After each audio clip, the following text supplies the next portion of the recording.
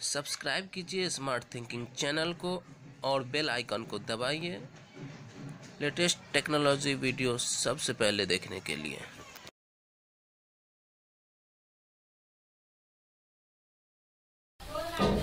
हाय Weaver मेरा नाम सरफराज है और आप देख रहे हैं स्मार्ट थिंकिंग एक बार फिर स्वागत है आपके अपने यूट्यूब चैनल जिसका नाम है स्मार्ट थिंकिंग तो आज हम बात करने वाले हैं आधार कार्ड का नया नियम, फेस डिडक्शन के बारे में। ये कैसे काम कर रहा है और ये कब जुड़ रहा है? तो चलिए शुरू करते हैं।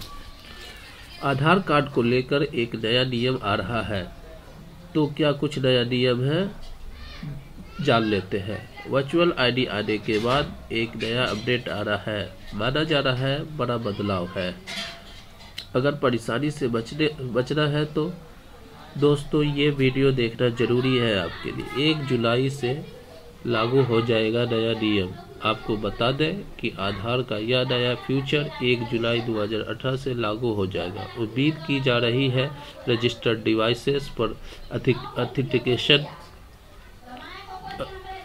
के मौजूदा साधनों, उंगलियों के निशान और आँखों की पुतलियों के साथ चेहरे के पहचान का विकल्प जुड़ जाएगा।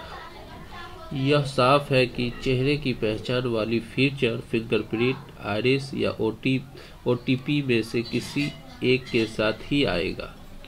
अब अथिकेटेशन में नहीं होगी दिक्कत। न्यूज़ एजेंसी पीटीआई के अनुसार यह सुविधा उन लोगों को काम आएगा जिनका बायोमेट्रिक ऑथेंटिकेशन में फिंगरप्रिंट की दिक्कत है। बुढ़ापे या कठिन कार्य करते रहने की वजह से समस्या आती है। इनके अलावा ज़रूरत के आधार पर भी नई सुविधा पाने की अनुमति दी जाएगी। वर्चुअल आईडी आने की तैयारी। फ़िलहाल यू आई डी ए आई के आ, ने आधार की सुरक्षा से जुड़ी चिंता दूर करने के लिए हाल ही में 16 अंकों का वर्चुअल आईडी लाने का ऐलान किया था।